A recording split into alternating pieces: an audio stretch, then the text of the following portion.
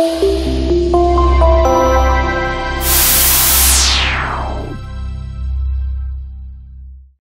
everybody, John Costigan back, and I have a real cool technique here called What Happens Next. Now, it, it, what's, what I love about, the, let me stop for a second. I know I keep going, what I love about this, what I love about that, oh, here's a funny story. You're like, you know, like, dude, is everything you love and everything's funny? I almost feel redundant, but maybe it's just my passion coming out. But I will tell you that if I was like on my deathbed and somebody said, what's the top three techniques that you think has probably won you more business than anything?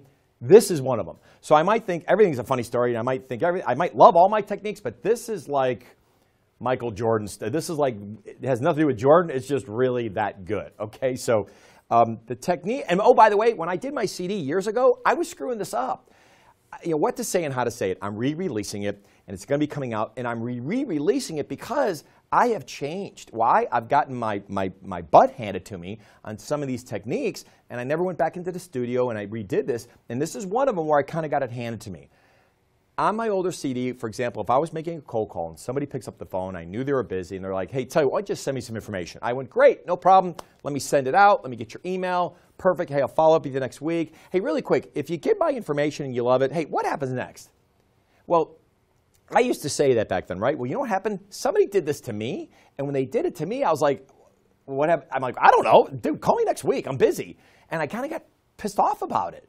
Well, what's funny is that I'm on a CD going, oh, go do this, go do this, go do this. But then when someone does it to you, you're like, okay, whoa, whoa. What are you, uh, selling used cars while you're at it? And by the way, I apologize for any used car salespeople out there. I know it's kind of the term we use about talking about, you know, hey, let's go. You know, I, I, we don't want to be that person, right? So, but I almost felt that way. And when someone did it to me, that's how I felt. So let me kind of redefine what happens next.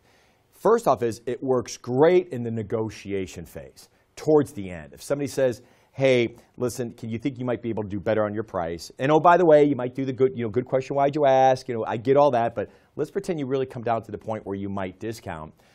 I might say, listen, not sure if I can or not. I'm probably going to have to go talk to somebody, but let me ask you, if I can discount it, and I don't know if I can, but if I can, hey, what, what happens next? I mean, you know, where, where do we go from here?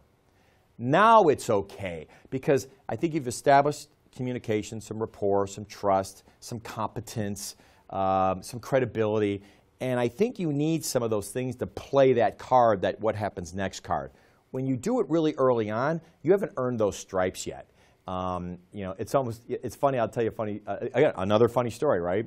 I'm in Philadelphia training one of the largest computer companies in the world, and I talked about this technique. Well, the gentleman, I'm going to keep this very professional, but the gentleman the next day came up to me, and it was a young, young man, very good-looking guy in Philadelphia, and he goes, hey, I tried your uh, What Happens Next technique last night. I'm like, well, where? He goes, well, I went out with some friends of mine, and I saw a very pretty girl, and I went up and I approached her. I said, hi, how are you? Nice to meet you. And and uh, she said, nice to meet you. And he's like, you mind if I buy you a drink? And she said, sure. And he was telling me this story. So this is real life. This is John making this up. And so I said, so when did you use that technique? He goes, well, about two minutes into it, I said, listen, you're a really pretty attractive lady, and I hope I'm not that bad. Listen, if, if this all works out, what happens next? I'm like, dude, what are you doing? And I go, what happened? He goes, she actually threw the drink I bought her on me. I go, as she should. I go, what are you, crazy? I go, it's not how it works, especially at that phase of the high list. I mean, you're kind of going, hi, how are you? Want to get married? I mean, you jump so fast into this. I go, and when I made the joke to him, he's like, oh no, I don't want to get married. I go, yeah, I know that, okay? But at the end of the day, your timing was so far off. And I'm not sure in a relationship if you've ever used that technique, right, when, when a relationship. But at the end of the day, I will tell you that there's certain times when you use it. It's great in the negotiation phase, number one. But number two is, if you're going to do it sometime early on, I think you've got to really soften it. Uh, definitely probably not on a first call, uh, but maybe that second call that you have with the person when you follow up at the brochure, maybe talk a little bit about what their challenges are, and then you say, hey, tell you what, Bob, listen, I know you have the information. I think our next step is I'll send out an email to you, maybe summarize our quick 10, 15 minute conversation because it's our second call. But hey, can you kind of walk me through, once I provide this to you, and if I can give you something maybe helps your business, hey, can you kind of walk me through what your next steps are? I mean, how do you guys do business? Is this something that's a priority for you?